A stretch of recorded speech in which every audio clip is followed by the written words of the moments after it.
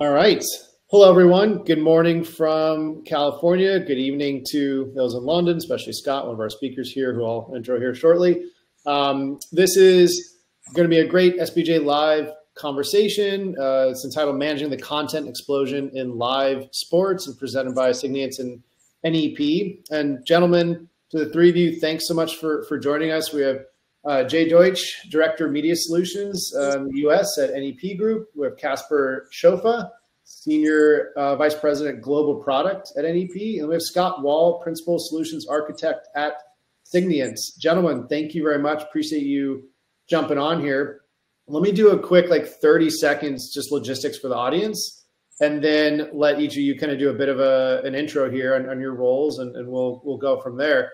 Um, so to our audience, thank you very much for, for jumping on. We have a number of people use this platform in a number of different ways, either attending live or using the uh, on-demand component, which has um, been something that we've gotten great feedback on, and, and, people love to view these conversations at their at their convenience. And so that's a reminder that anyone who registered will have access to this recording after our conversation is done. Uh, also, I, I, encourage everyone to use the chat. Uh, you know, jump in, say, hi, this is so-and-so from California, et cetera, and get the conversation started. We see people often share their LinkedIn profiles. We've had some great connections come from these chats, and, and that's always been really fun to see. Um, you can also ask questions. Uh, I'll do my best to work them in as, as our moderator here today. And um, I think that's the majority of, of the, the details there. Um, I also realized I didn't introduce myself. My name is Taylor Bloom. I'm the head of sports technology business here at SBJ. So always happy to be having some technical conversations with, with great guests. And that's definitely what we have here today.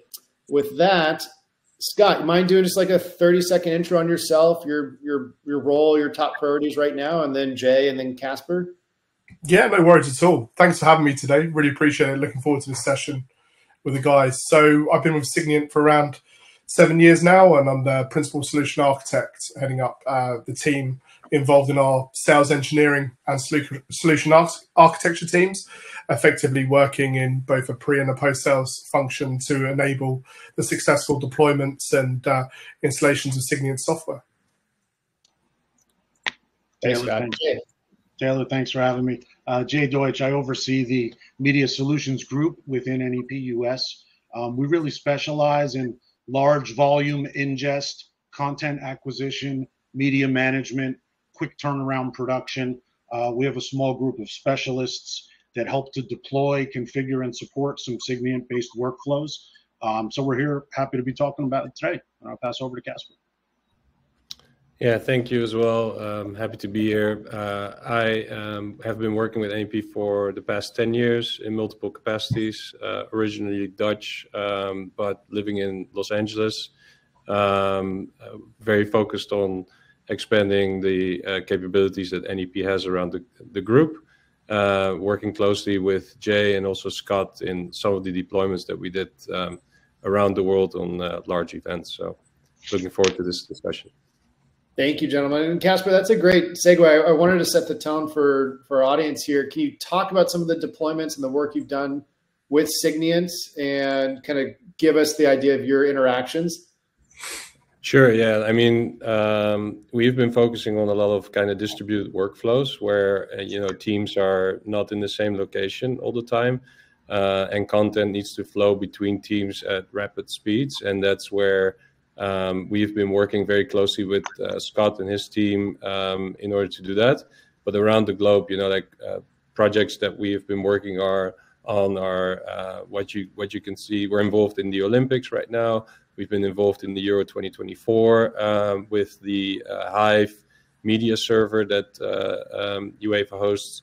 Um, we we are involved um, very in a very detailed capacity on a weekly basis with MLS um, and their uh, content management capabilities that are very distributed, meaning uh, 14 different venues on a uh, on a Saturday with um, with multiple locations that are all working in tandem that we can um, definitely speak to uh, a little bit more in detail. Love it, Scott. From a Signiant perspective, anything you want to add in terms of how you guys work together? No, no, no. I think the one thing that I'd add to this is that our partnership with NEP brings this unique lens to that sort of event world, the large scale event world. We see things from production based workflows from the remote side, the distributed side of that, and it's um, it's a really important thing to to have this discussion. I'm looking forward to it. So, with that in mind, we the title here you're seeing the, the content explosion phrase being used. Guys, talk to me about that. I'll throw this out to the three of you, whoever wants to jump in. When you see that phrase like content explosion, what does that mean to you, and how does that really impact your production workflows and, and any um, adjustments to your priorities you need to make? Um, I'll leave that there. Who wants to jump in? I, would love to. like uh, what, what, I what I see is that um, you know the number of outlets that we need to distribute content towards are just growing, right? Like I mean, it used to be, and this is already quite some time ago, just linear. Uh, then OTT came in, and now we also have social. And uh, even though that seems like just three outlets, there are multiple outlets in multiple locations, depending on also how the rights are are distributed. And and I think this is essentially where this this distributed workflow plays in and and you know like on the live side nep is very present into making distributed workflows with live content available uh, across either you know a market the size of the us or even across the globe and working closely in partnership with the Signiant team we're also doing that on the file based um, uh, from a file based perspective because um, it's challenging to do version control and and make sure that the files are present when when they're needed for editors and social media teams to publish them um, in the right uh, manner. Yeah, kicking over to Jay and Scott, who probably can speak a lot more detail to that. Yeah, I think it's it's exciting what Casper mentions in terms of you know more cameras, more formats, uh, you know higher definition, higher bitrate content. Um, and then where our group gets involved is actually getting that content, you know, from its point of creation, which might be a mobile unit, a studio, a fly pack, what have you, and getting it to maybe one specific group of users or maybe to multiple outlets requiring transcode workflows, rewrap workflows, live streaming workflows, live clipping kind of workflows. What Signiant has really helped us to do is get the files that are created on site at the event, whether it be sports or entertainment, what have you, and get that as expeditiously as we can to another endpoint somewhere else for other users to benefit from it, whether that be post production, whether that be a live studio environment like we do for MLS currently. Um, there's just a whole different range of um, workflows that benefit from this kind of accelerated file transfer we get from Signiant. Um, and over the years, it's been interesting to see the the different products like evolve naturally and also get some um, feedback into the hands of, of Scott and the Signiant team for what we see as being improvements. So the uh, the collaboration's really been uh, hand in hand. Scott. Yeah, no, 100% agree. This is a partnership between us and NEP, and some of the insights that Casper and Jay give us are invaluable, especially with these with the MLS project. One thing that we're trying to do and provide here is give that level of control and visibility to the team, understand when the content's created, where it's been moved to, and owning that whole chain of custody. So in the end, their end customer has line of sight of where the content lived, where it's been moved to, and where it's ended up. And, a, and a real important part of that, just to, to add on to that, Scott, is the ability to have that kind of job monitoring, to have some kind of a dashboard where you can look and you can say, you know what, we're doing 35,000 file transfers today from site to studio. How do I find that one or two that are in question? You know, yeah. and having a tool set to be able to do that kind of thing is really important to us. And we've looked at the way that our platform's been built in a cloud native ways that ability to scale, right? 35,000 files is not a small amount in any shape or form, right? And that's weekend after weekend after weekend.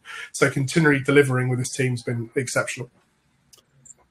So, what are some of the biggest product evolutions that fans will notice here? You guys are talking about some, you know, seriously upgraded product workflows behind the scenes. You know, going from site to studio, like you just mentioned, Jay what's the output for for fans that's that's different for them now than maybe it was when we were just linear like like casper said?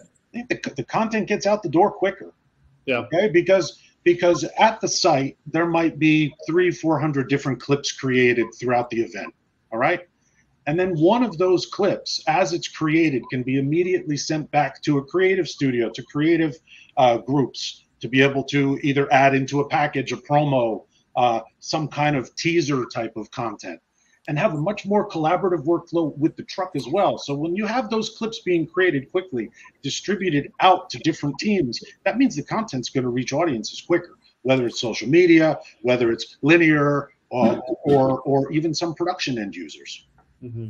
Other thoughts on that? Certainly welcome.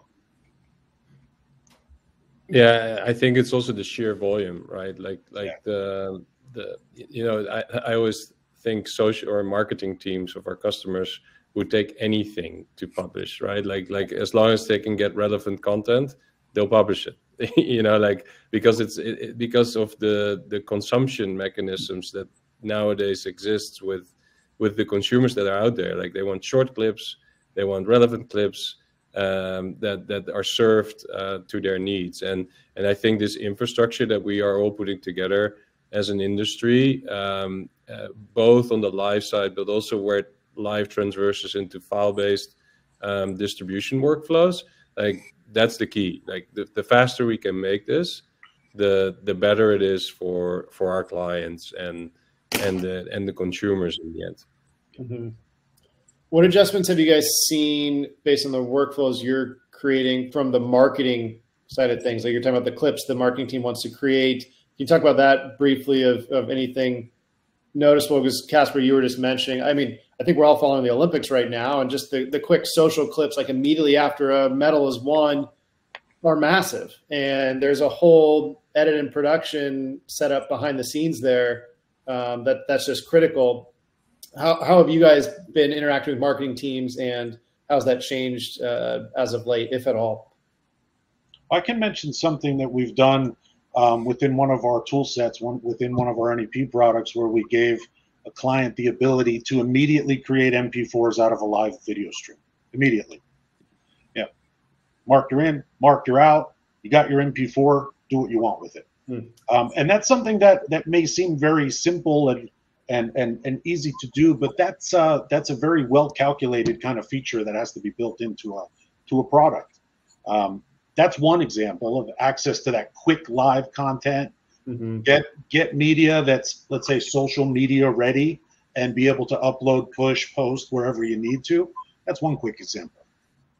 It also goes into kind of the um, the client that we're dealing with or the clients that we're dealing with because you you mentioned the Olympics, right? Like I don't have to educate anybody on how many rights um, holders there are for the Olympics content.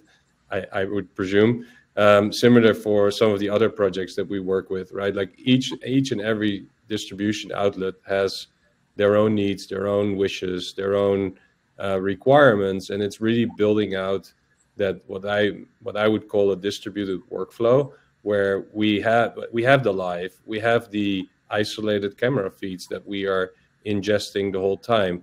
Great, right? That's where it starts, capturing the content.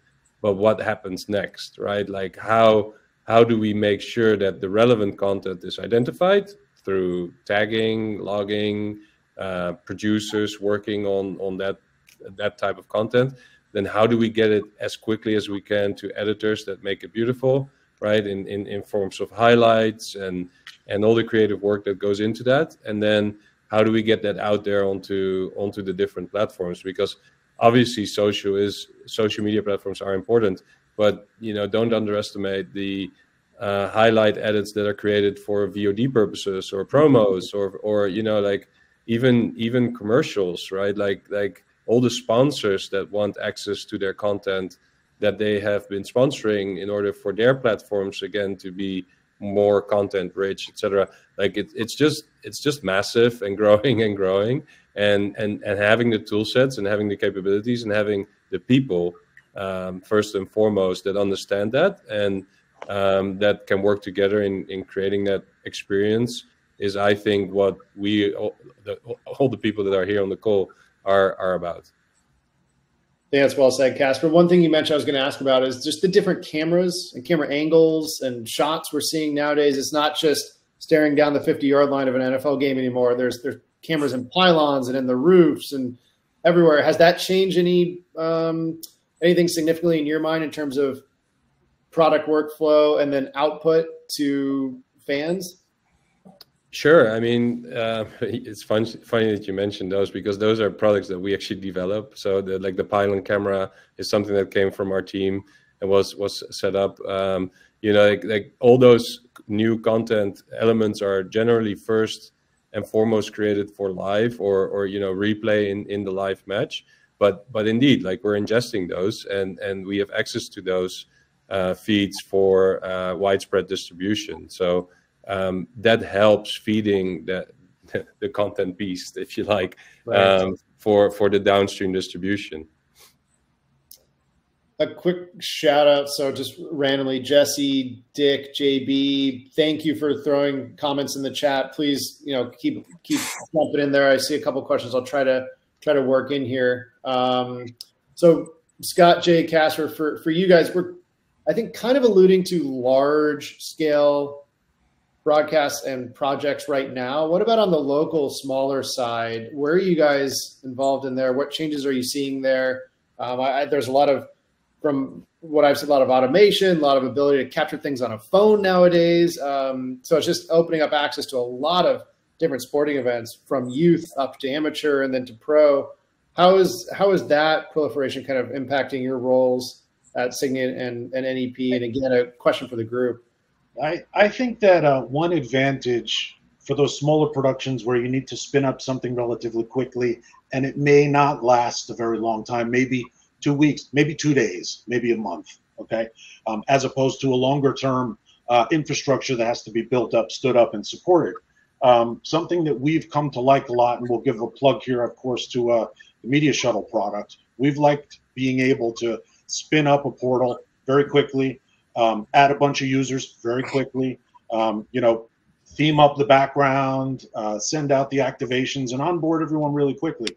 Um, and so it was something that our team of specialists and engineers and and designers were able to to learn very very quickly, and that was very important to us too. The learning curve on some of these new technologies can't be so extreme that it takes your staff, you know, six, 12 months to to start learning it.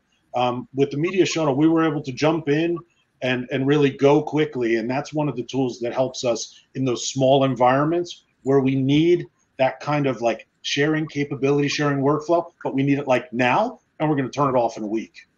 Yeah. So with the media shuttle product as part of the Signiant platform is ability to scale from those small productions up to large scale projects like the Olympics. Um, is very simple in its approach and in its administration. So, giving that delegated administration models, multiple outputs in terms of reporting, again, that control and visibility is really important for across the board for, for our customers. And Jay's team being able to take it on board and and spin this stuff up within seconds, uh, and also programmatically, this stuff can be administered in a manual fashion, but also the way we lead with API first um, architecture, they can tie it in with their uh, programmatic uh, work uh, uh, at the uh, essence.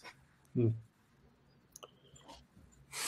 Building on this, um, I'm trying to word this properly, but are fan expectations of content at the end of the day of what they see on their phones or laptops or televisions, is it higher or lower nowadays in terms of the, you know, kind of the content that's being generated? Do they just want access to everything quickly or do they want everything at a high production value, um, you know, complicated workflows to get it there? Or is it just so quick they were like, just give me a clip and let me move on. I want to see my favorite athlete and, and get out of here.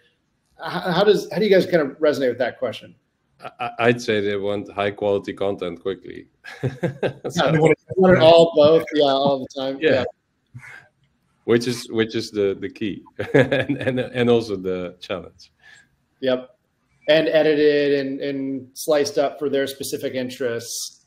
Yeah, yeah. Because yeah. if it doesn't look nice, I mean, um, even if if you look in your own you know private uh, environment, like people make pictures, and if they don't look nice, they don't like the picture, right? So so we have to work on uh, we have to work on creating that um, experience, which is largely driven by creative intent, right? Like the, the mm-hmm. creatives that we work with define how the images should look like, how they should sound like, um, how long they should be, for what specific platform, et cetera, et cetera. And then we, as as this team, need to figure out how we get that done um, within you know seconds, minutes, whatever it may be, in order to not lose the um, value of news, right? Like if, especially especially if we speak about sports content, uh, it's it's it's like you know publishing news.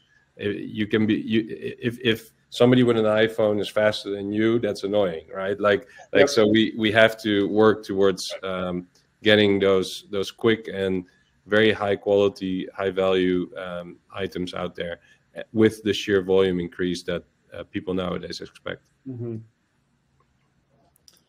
You mentioned the beginning, uh, Casper, from an NEP perspective. This is for all three of you, but it's kind of going back to what some of the intros. Um, I know there's partners you work with. You always you can't always divulge yet, but then you mentioned Major League Soccer as being one. I'd love to go into detail on that. Like, what is that workflow like? What is that setup like? That partnership like? Um, I think you mentioned you know you're working across 14 different production sites there. Give us a give us a lay of the land of what that's like today, how it's evolved recently, and you know what are what are the expectations there. Yeah, I'll I'll start and then I'll kick it to Jay, who can get into much more detail. Um, but um, I'll start with the live side of things, right? So we on a um, on a, what we call an MLS um, match match day. We deploy um, uh, up to 14 um, OB trucks, um, 10 to 12 camera uh, productions that uh, go to um, 14 MLS venues that are all across the the country, like um, from you know the west coast to the east coast, everywhere, uh, wherever they play games. And those, uh, like essentially, what we are driving towards is that um, most games um, start at the same time from a time zone perspective. Um, so you, you, it could be as busy as having 14 games going on at the same time. Um, and um, each of those games are producing um, the live feed, which goes to uh, US and world distribution. Then uh, they create a lot of content clips like melts, um, uh, you know, like the full match records. Um, the, the, the, there's a lot of content generated because we do replay clips, etc., etc. Um, that's all within each of those um, uh, mobile unit environments, right? So times 14. Then we need to access all that uh, content um, remotely because we have our studio show production, which takes place in New York we have our uh, live ingest platform for um, our, our uh, MediaBank product, which is being accessed to uh, generate um, um, logs and clips and, and, and distribute highlights uh, downstream for uh, everything that we've been speaking about, like social, etc. Then we have um, our South Florida facility um, uh, that is also creating a lot of that is doing a lot of content management and clip management and um, downstream distribution to multiple outlets um, for MLS as well. Um, with another facility in LA that also needs access to all the content. So it, as you can see, it's it's it's it's widespread, very distributed, many different um, uh, basically operators working in tandem from different locations and. Uh, I'd like to kick it to Jay to go into a little bit more detail as to how that actually comes together. Yeah, Casper, that's a great overview. Um, where I'll take over now is let's imagine one of those 14 different matches. Okay. Um, there are clips being created even before the match, of course, you know, warm ups, the walk ins, fans, so on and so forth. That content's very valuable for the editors and the producers in the studio that are putting together a, a five, six hour long studio show. Okay. Mm-hmm. So we have the ability now to get content from that one truck back to the studio within a couple minutes. Okay. Clip gets created, it gets archived, goes through one of our NEP designed ingest servers, which runs Signiant software and delivers it back to the studio within a couple of moments. Now, does it take one minute or three minutes? Look, uh, that's going to change depending upon the load, depending upon bandwidth, and so forth. But the fact of the matter is, is we can get clips from the truck back to the studio in a matter of minutes. All right, that's a huge benefit for the creative staff in the studio that's looking for fresh content about that game. Okay, mm-hmm. and like Casper said, we do that times 14. So as there are six matches that all kick off at 7:30, well, we're getting clips from all six of those matches before the kickoff. So now the creative teams in the studio can start putting together stories, editorial pieces, features, what have you. That's much more interesting. Okay, so getting those what we call best clips into the studio has really been a, a, workflow that's um, been locked in, been in place for almost two se- season and a half now. We started doing this beginning of uh, 2023 season, uh, and the studio staff really relies on it. You know, we'll actually, well, our support staff will get reached out to saying, "Hey, we haven't seen any clips from uh, Kansas City yet." Oh, we go take a quick look. We turn on Kansas City. They start getting the clips, uh, and we can do that thanks to some of the tools that we have with uh, with Jet now, Signiant Jet. It's a great overview, guys. Um, thank you. It leads me to one of my next questions. Taylor, Taylor yeah. one, one, let me let me say one thing that I forgot to mention. We also now are able to stage content for the trucks. So let's imagine those 14 trucks, they're all in transit during the week. They get to their locations on Saturday for match night. Now, there's some new promos and teasers and front ends and things like this that have been put together all week in the studio. Well, when those trucks come online, they get the updates. Okay. So all 14 of those trucks will get the new front ends, the new cappers, the new promos, the new whatevers that came from the studio without having to make a phone call and say, hey, send me all the new stuff. Happens automatically. Love it. Okay, that's very helpful, Jay. Thank you, Scott. From your perspective, you know where Signiant fits into that. Um, anything you want to add to the context that Casper and Jay mentioned? Yeah, no. So uh, us working there and acting as that plumbing for the for the for those um, matches is is very important. Also leveraging other aspects within the Jet product. So we have a a next generation um, transport protocol which leverages AI and machine learning to move content as quick as possible between point A and point B. So sometimes the matches that are closer to these hubs will use a different protocol compared to another one. So our efforts here at Signiant are to move those files as fast as possible, and that's totally abstracted from from from the NEP team. It happens in an automated fashion, but it helps them get that content, whether it's to the truck or to the base for any of these different workflows, as quick as possible. Hmm. So, given the context you three just mentioned and that that workflow and this this massive distributed production, um, one question we had from from JB, thank you in our chat. I'm kind of adapting it a tiny bit for this.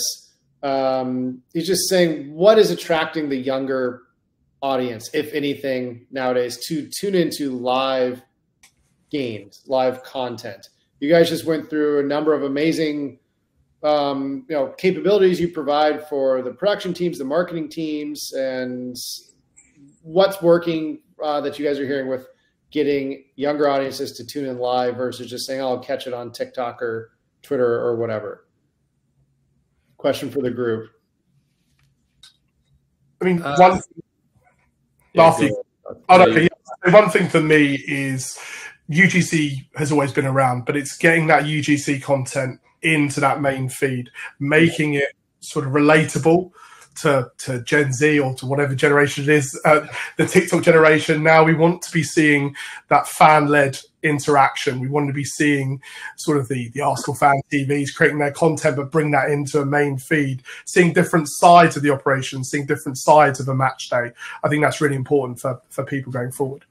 Yeah, I, I agree. Like I think this highly depends, Taylor, on our clients, right? Like like our, mm-hmm. our clients truly define um, what the content outlets are going to be. So it's it's it's more like we we provide the technology solutions around the requirements that our clients set forth. Um, so, for example, what what we are seeing happening right now is that clients are looking for you know very specific niche alternative feeds um, of a certain player or of a certain you know like event around the main event that becomes more interesting for younger audiences. Um, so, so our clients are definitely experimenting with um, with different um, and alternative viewing um, um, setups. But but again, like we like whatever they come with to us around like this is a creative intent that we have. we will find a solution towards because we do have the content, we do have the network, we do have the the the, the capabilities to cater to those needs. It's really about what is the creative intent, what do we want to show the the, the end consumers, um, because in my opinion, from a technology perspective, that's entirely possible. Jay, would you add anything there? Well, a little earlier on, you were talking about the different angles, the different specialty cameras, you know, the pylons, the, uh, the spider cams, yep. Uh, you know, roof cams, and so on. I think that just goes to show what the audience actually really wants to see. You know, we wouldn't be putting these tools together, um, you know, for fun, so to speak. I mean, look, our job is fun. I think we can all agree with that. But at the same time, um, it's not like these ideas are just coming out of nowhere. They're coming out of like what what end users want to see, what the creative staff on the production teams are, are are able to actually put together for end users, and that that user generated content, like you said, Scott, like getting that into the main program somehow is gonna is gonna be more engaging, is gonna lock in viewers. Uh, because they, they they have that that that personal connection to the UGC content as opposed to just a static feed of you know something. I think it's very fair. That kind of goes into my next question is guys talk to me about streaming and direct to consumer and now going forward. I mean, there's just gonna be more games on obviously like Apple or Amazon or you know, WWE is gonna be on Netflix. There's there's all these new um, entrance into the traditional viewing model for fans. How does the the growth of D2C streaming impact your guys' roles and the and the production workflow you've been mentioning, if at all? I'd be curious to kind of understand that better, make sure people out there understand any changes you guys have had to go through. I think, I think, and I'll, I'll, just, I'll say this candidly. I think the real difference is like the transmission is a lot different. Okay, the production aspect and giving uh, the audience what they want to see in terms of angles, in terms of replays, in terms of highlights. How quickly can we get them a highlight? How quickly can we get them a replay? That stuff doesn't change to us. At least I don't see that changing in the near foreseeable future. So it's more so like an adaptation to the transmission aspect of the production. You know, where the the created content, where the program is going, the technology is going to be a little different to get it there, of course. But I think at the end of the day, production doesn't change too much. Thoughts on that? Anyone else? Yeah, I, I, I think it, it highly again it highly depends on on the creative side of, of things in my opinion because I do what I do see with um, the different clients that we serve is that they have different approaches to what type of content they want to release on their platform, and especially with the direct to consumer platforms, you see that there's a lot of alternate alternative yeah alternative content that they want to generate to also release on their platforms in in addition to um, the live feed.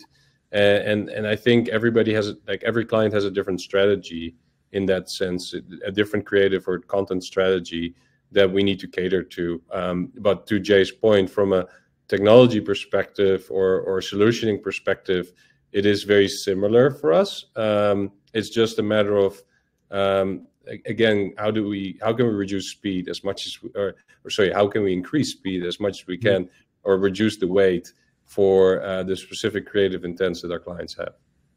Mm-hmm. Scott. Yeah, no, and I think the way that we look at it as is exactly what this session's about, right? It's more content people are maintaining. There's still ad dollars in the traditional linear broadcast. They're going to continue for forever. You've got the D2C component, but that's additional content being created. And again, we're help facilitating that move with our partners like NEP. We're there to help provide the the destination, the support, the movement, the control, the visibility, the acceleration across that that real estate for them. One other topic I want to discuss and get your guys' input on is just in general security, cybersecurity. Um, I'd be remiss if I didn't have at least one question about this. Given two weeks ago, the CrowdStrike global issue that was really serious, I think opened a lot of people's eyes. Thankfully, I guess that wasn't like a bad actor; that was just internal processes. But talk to me about as as we're producing more content, as the, the content explosion in live sports continues what new exposures or risks does that open up uh, that you guys are are thinking about or aware of or having to work into your workflows to get the content produced and sent and shared in, in ways you're you're you've been explaining to to this point I think that without getting into a whole cybersecurity, you know, forum here, which we can easily go down that path, and that's that's obviously not the intention here. Uh, an important part of the file transfer aspect and security, security of those files and those recordings and, and the content that gets created, is encryption along its path. Okay, uh, and that's something that we can get with the, the products we've been deploying from Signiant is that end-to-end encryption, and that's super important to us. Mm-hmm. So when we need to move content from point A to point B, and we can do it with a platform that has the monitoring, the dashboard, the statistics, all this, and the encryption end to end. I mean that that really checks the box box for us, and that's uh, that was a requirement that uh, we definitely have in play now. Yep, I, I I think that's well said. Scott, Casper, would you guys add anything to this? I think it's fair, Jay. You're not looking to make this a cybersecurity forum. I like how you worded that, but I think it's a very important question to to touch on. No, like I, I second basically what Jay said. I, I would, I would add that, um, you know, like given those distributed workflows, you will need to use public internet, right? Like, like there's, there's no way around that. Like, obviously, we try to um, use private networks as, as uh, uh, wherever we can. Um, not, not just because of security, also because of reliability. Um, but, um, but you, using public internet, it requires you to work with products that um, allow you to um, uh, you know do a secure content interaction and Signiant definitely provides that. I'm sure Scott can can speak a little bit more educated about that. Yeah, I'd say for us, authentication and authorization are key. And like Jay said, that encryption along along the line is massively important to us and available across the, the Signiant platform. But enforcing role-based access control with regards to users, um, supporting multi-factor authentication is key for us across our, our suite of products. And guys, we're, we're approaching the 40 minute mark here. So I always like to like do a bit of a look forward um, as well. And, you know, we're sitting here, Paris Olympics are going on. We've talked about the, you know, Major League Soccer production work you guys do. Like there's just there's such scale to leagues and major events nowadays, um, and it just feels like that's never going to slow down. Frankly, as we sit here, I'm I'm close to LA. Casper, you're in LA. I'm kind of looking already ahead to LA 28. Maybe the next four-ish years, let's say. Let's give it an Olympic time frame. What are some of the biggest changes you guys are thinking we'll see in the live sports um, production space, and what's maybe being worked on now that that fans and partners and broadcast partners are going to start to really appreciate. And question for the group: You guys have been great with uh, making me not have to call on anyone and just continue to jump in. I mean, like AI is obviously a hot topic, right? Like, um, how can AI help create content? Um, I, like, I like to put it that way, also because I don't think AI will replace creative. Like, like honestly the, the, the creative work that goes into um, making those clips, making those fan experiences is is is huge. Uh, but what AI can do is help um, fast, you know, make it faster. And and to what we uh, I think during this panel um, have been discussing a lot is like how can we get the content out there faster, but with the creative intent that our customers want. I think that's that's one of the things that I think within the next four years will be more we will be more uh, become more accustomed to right like mm-hmm. um, I, i'd say there's other industries now doing a lot of testing for us and once that kind of solidifies um, uh, there will be a road i think for us to implement that in our workflows as well um, in in a solid secure and um, um, you know like um, distributing led uh, approach hmm. Scott or Jay, would you add anything on the AI front? And then we can go back to the overall question as well. But that is, of course, a topic I wanted to touch on a bit. Ready to touch on the overall? sure, Jay. Um, so, so we talk about we talk about more content. We talk about access to content, um, but from a from a production sense, right? I think what we'll see a few years from now is a reliance on more connected productions, let's call them, where you've got a core of equipment, you've got uh, ingest happening somewhere, but your operational base and your creative staff may not all be directly attached geographically uh, to that production. We're going to see a lot more of that, and of course, you know that this all started uh, a few years back during COVID. We all had to get creative in remote ways of working, but those uh, those ways are here and they're tried and true, and they've been working on a, a day-to-day basis for not just us, but for many in the industry. Uh, and I think that that's that's a that's a shift we're going to continue to see. Uh, those connected productions are going to become more elaborate. They're going to le- leverage more, uh, potentially more cloud-based, uh, you know, uh, systems and, and infrastructures as opposed to fully on-prem data centers. Uh, it's it's an exciting time. But look, where are we going to be in the next five years? Uh, it's uh, we grow at such a rapid pace in this industry, uh, and I think that what we're talking about here really does help to pave the way to get that content somewhere faster, all the rest of it is going to fall into place. Yeah, it's nicely said, Jay. Scott, closing thoughts on? Yeah, no, I agree exactly what Casper and, and Jay have said there. I think from a connectivity standpoint, those dispersed creative teams, we're going to be seeing improved connectivity. So networks becoming faster. And for us at Signiant, that's that's a massive advantage. The larger the network connection, the faster the Signiant product can do. So the faster we can help people like NEP move that content between those distributed locations. Well, guys, I think we've covered a number of topics. I, always like to try to get through a lot of different topics so our viewers can latch on or reach out to you guys and see if they want to go deeper on anything. Any additional closing thoughts maybe I didn't get to that you want to um, mention?